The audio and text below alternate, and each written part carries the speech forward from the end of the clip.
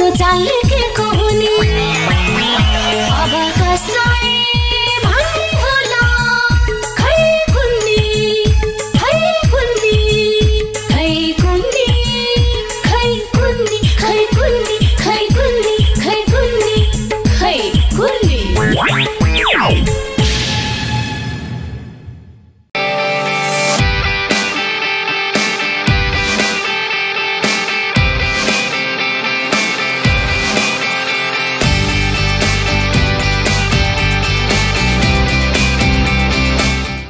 ओइ नदिया फोर तँलाई लाज लाग्दैन। कति नै उसकै बारेमा फाले तेरो बारेमा फाले छु फोर। तेरो बारे भन्दा त अहिले फेरि हेर है तेरो त तिर्सिर छुँदै छ नि। तातो दुध चोबेर बिरालोलाई चाट्न दिन्छ अनि थाहा पाउँछस्। पख है। तँलाई मैले झडाममा लाएर यहीँ तल झारिदिउँ त्यसै त सार्वजनिक स्थल। त्यही माथि नदी जस्तो पवित्र स्थलमा फोहोर फाल्न तँलाई लाज लाग्दैन। यो नदी सभारै ठेक्का तैँले ल्यास मैले जहाँसुकै फालौँ तँलाई के मतलब? सेती नदी भनेको है पोखराको गौरव हो। यसलाई संरक्षण गर्ने हामी सबै पोखरेलीको दायित्व। तेरीमा भाते खुर्को त फोहोर लैहाल।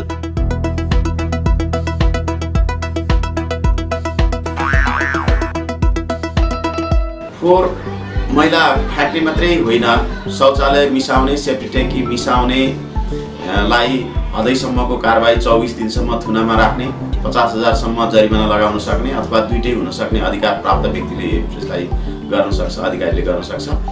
यो हाम्रो सेती नदी भनेको पोखराको गहना हो। यसको संरक्षण र सम्वर्धन गर्ने पोखरेलीको दायित्व हो।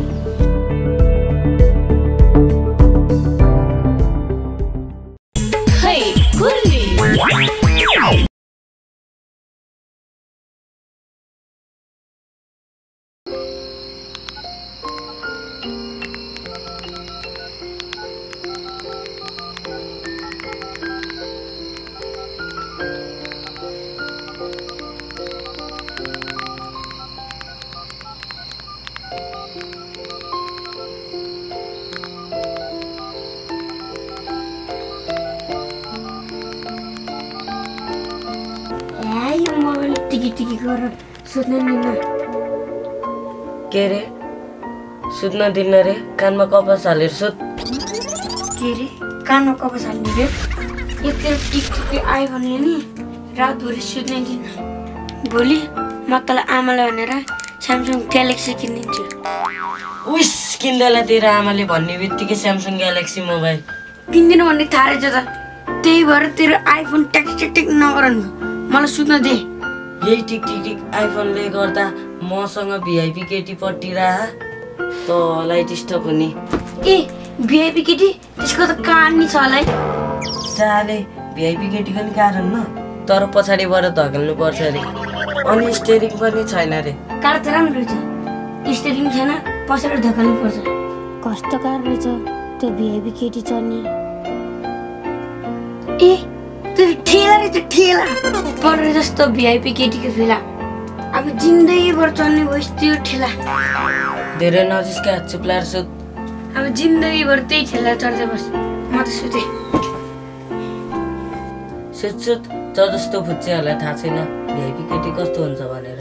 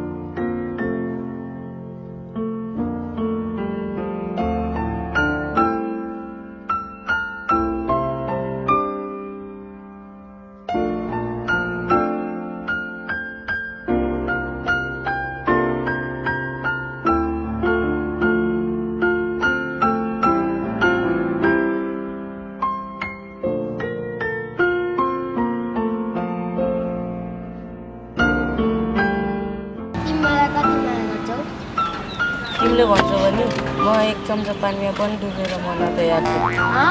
बेबी वान किस देऊ न। भोकै लाज लाग्छ। आफ्नै गर्लफ्रेन्डसँग नि के को लाज।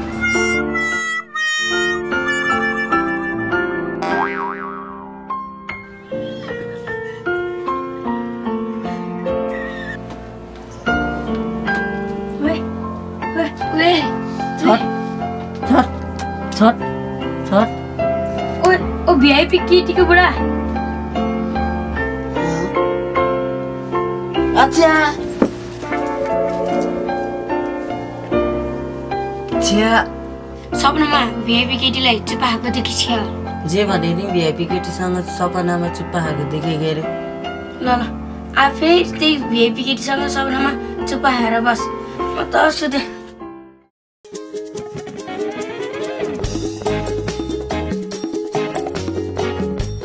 चुनावमा उठ्ने त भनियो।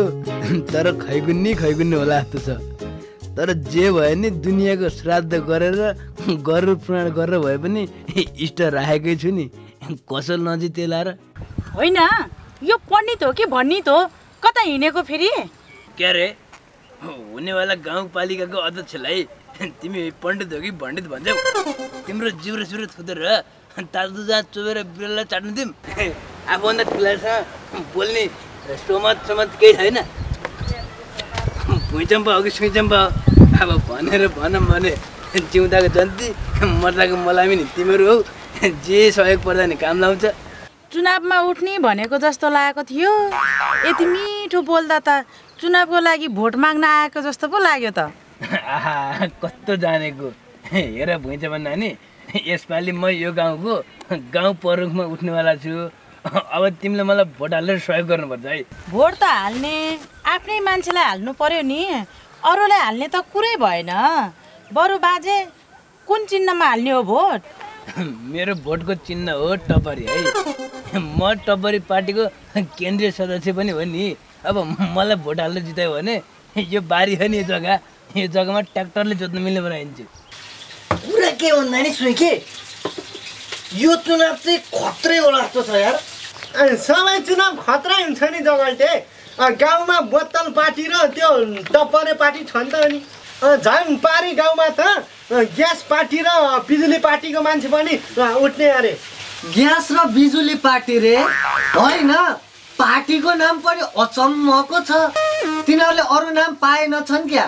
ग्यासको पाइप भान्सा भान्सै ल्याइदिन्छु भनेर भोट माग्दाखेरि त्यो ग्यास पार्टीले त हेर भान्सा भान्सामा ग्यासको पाइप चाहिँ होइन है। तिनीहरूले खान नपाएर चाहिँ गऱ्यो। यी यसरी ग्यास चाहिँ आउँछ बरु बिजुली पार्टीले पो चुनाव जित्छ क्या केटाहरू। त्यसले नजितेर भो बिजुली पार्टीले जित्न पर्छ। यत्रो देशमा लोड सेडिङ छ। यस्तो लोड सेडिङ हटाएर पुरा झिलिमिल्लो बनाइदियो। अनि भोट चाहिँ त्यसलाई नदिएर भो केटा पैसा चाहिँ अरूसँग लिनुपर्छ। तर भोट चाहिँ बिजुली पार्टीले हाल्नुपर्छ हुन पनि हो गाउँमा राम्रो राम्रो काम गर्दै हिँड्ने मान्छेलाई चाहिँ भोट दिनुपर्छ तर पनि अब हाम्रो गाउँबाट चाहिँ त्यो टपरे पार्टीबाट उठेन रहेछ त्यो पण्डित होइन तिनलाई एउटा भोट चाहिँ दिनै पर्छ है इस दिस दुईटालाई भोट एउटालाई मात्र दिन पाउँछ नत्र त कामै लाउँदैन कुरा बुझ के सुइ के अब हामी भाडामा चुनाव प्रचार प्रसार गर्न जानुपर्छ युवाहरूले पैसा कमाउने बेला यही हो क्या?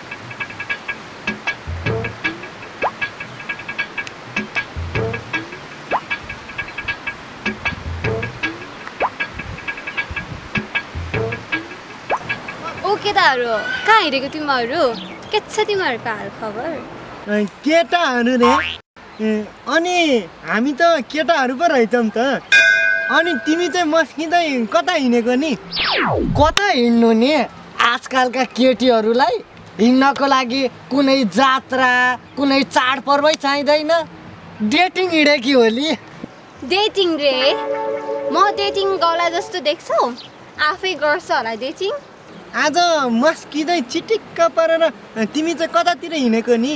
आज फेरि त्यति स्पेसल डे पनि त होइन। हिँड्नलाई स्पेसल दिन नै चाहिन्छ र। स्पेसल दिन नभए पनि स्पेसल कार्यक्रम छ नि। स्पेसल रे? होइन। कस्तो स्पेसल हो? मलाई पनि लैजान। यो स्पेसल भन्ने कालो हुन्छ कि रातो हुन्छ कि कि म जस्तो दुब्लो हुन्छ? अब हेर त्यो काम बन्यो भने त कार आउँछ। अब यो बाटोमा कार लिएर सरर हिँड्ने हो। यसले त कार किन्छु भनेको त कस्तो खकर पो आउला जस्तो भयो त यार। ओए तैँले कहाँबाट किन्छस् कार तँसँग पैसा टन्नै छ कि क्या हो? के यसले त पक्कै त्यो गाँठिस गाँठिसहरू पट्टाएर यसले कार किन्नु खोज्यो कि? मलाई त शङ्कै लाग्छ। कार किन्ने सपना देखिछ केटीले। यो सपना होइन। उता काठमाडौँमा मिस नेसनल आइकन हुँदैछ। त्यसकै लागि जान लागेको। आइकन भयो नि खाइकन भए पनि त्यो कार चाहिँ कताबाट आउँछ हो। कार किन्नको लागि कनसँगै ठुलो कुरा हो र होइन? ओए अस्ति तैँले तेरो भाइलाई त्यहाँ दुई सय रुपियाँको रिमोट कार किनिदिएको होइन? त्यस्तो होइन। मिस नेसनल आइकनको विजेताले कार पाउँछ अरे वाउ। अनि म त्यही भएर भाग लिन जान लागेको। जान्छु जित्छु अनि कार चढेर आउँछु। ड्राइभर बरु मलाई नै राख। म आजैबाट कार सिक्न जान्छु।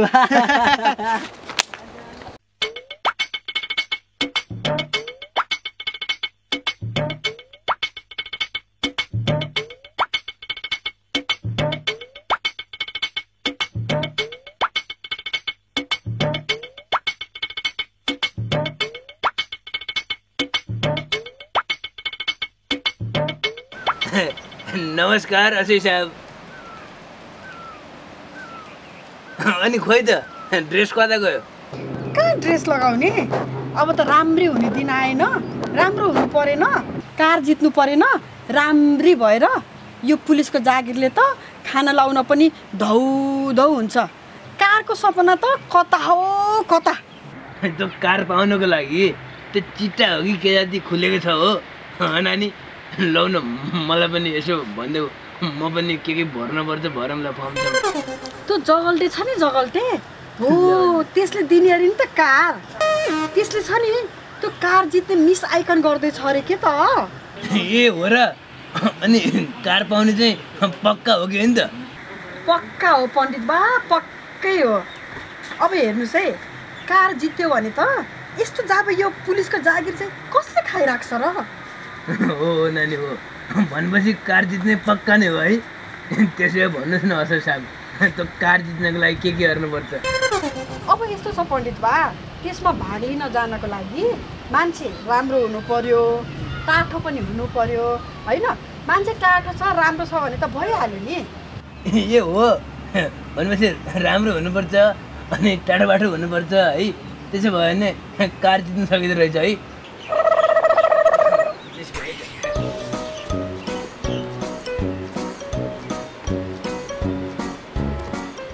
के गर्ने आफ्नो पनि छोरी भएको आज यहाँ घर कार आउने रहेछ त्यो मोरो कालो दारी फेरि अहिले के गरेर त्यही पनि एकचोटि फोन त हान्नै पर्यो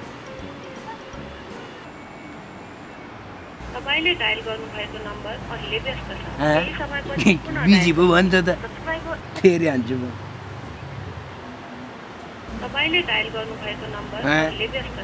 फेरि यो बिजी हो कि दादी भन्छ त होइन के भयो पनि म फेरि हान्छु फोन तपाईँले डायल गर्नुभएको अच्छा फेरि बिजी भन्छ त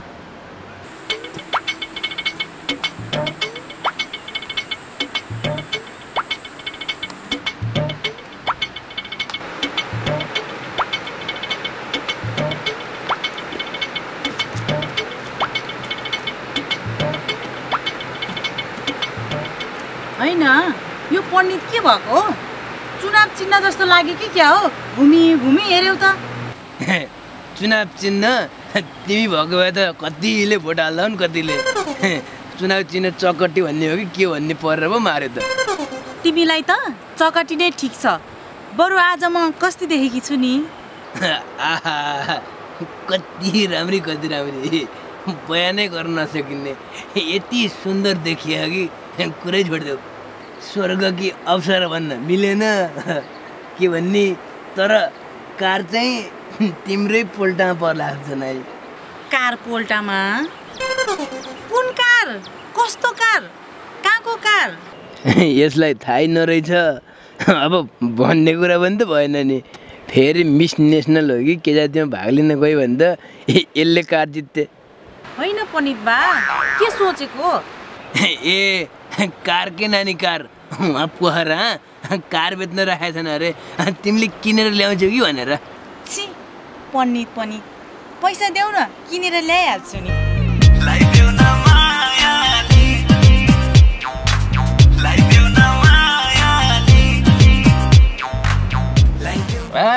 भन्ने त भन्ने त।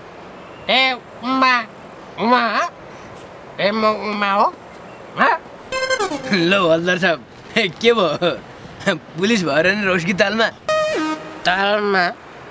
कुन तालमा? हेवा तालमा कि रूपा तालमा? काम नपाए तिमी पनि जा कार चढ्न। ऊ बेला कालोदारीको आमालाई बिहा गरेर ल्याउने बेला एउटा ताउलो एउटा थाल भाइ केही दिएको छैनन् कसले दिने कार। त्यो मेरो बुढी पनि मिस हो कि के जाति भाग लिनु गई एउटा बच्चा पाएको थियो। त्यसलाई छोडेर मिस बनेर कार हो कि के चढेर आउँछु भने भाग लिनु गयो त्यहाँ छोरा पाइसकेपछि मिस। हेर हवलदार हो कि कवलदार हो? तिम्रा कुरा त इस। लु लु हेर्दा भर्खरको देखिन्छ। छोरा हो कि छोरा? कसलाई के तँ जस्तो स्वास्नी नभए जस्तो नभएको हो र। भएको हो नि। यत्रो इभेन्ट गर्नलाई यहाँ गाउँमा। तर कार चाहिँ कसरी ल्याउने यो गाउँमा? यो गाउँसम्म कार चाहिँ किन ल्याउनु पर्यो नि? बरु मलाई विनर बनाउनुहोस्। म उतैबाट लिएर आइहाल्छु नि। तपाईँलाई के को दुःख? भइहाल्छ नि असी साहब। तपाईँको हाकिमलाई नेताले फुलिदिए जस्तो हो र यो काम। जसलाई मन लाग्यो त्यसलाई दिने। यहाँ त जसले राम्रो गर्छ त्यसैलाई दिने हो। त्यहाँ माथि हाम्रो यो इभेन्ट भनेको त नेपालमै पहिलोचोटि कार दिन लागेको इभेन्ट हो। उहाँ मिस नेपालमा त स्कुटर पाउँछ। त्यही भएर त उहाँ पुलिसको जागिरबाट केही दिनको लागि बिदा मिलाएर आएको छु। लौ न हजुर कसरी हुन्छ? मलाई विनर बनाउनु पर्यो क्या। कुरा मिलाउँदैमा कहाँबाट कार आउँछ? कुरा मिलाउँदै मिलाउँदै बस्यो भने कार चाहिँ होइन खकार चाहिँ पैसा मिलाए पो कार आउँछ त हसी साहब। पैसा मिलाउनु पर्छ रे। अनि कार पाउनको लागि चाहिँ कति पैसा मिलाउनु पर्छ नि? विनर पनि भयो नि कार पनि चढे नि धेरै पर्दैन जम्मा पच्चिस लाख मात्रै हो। पच्चिस लाख?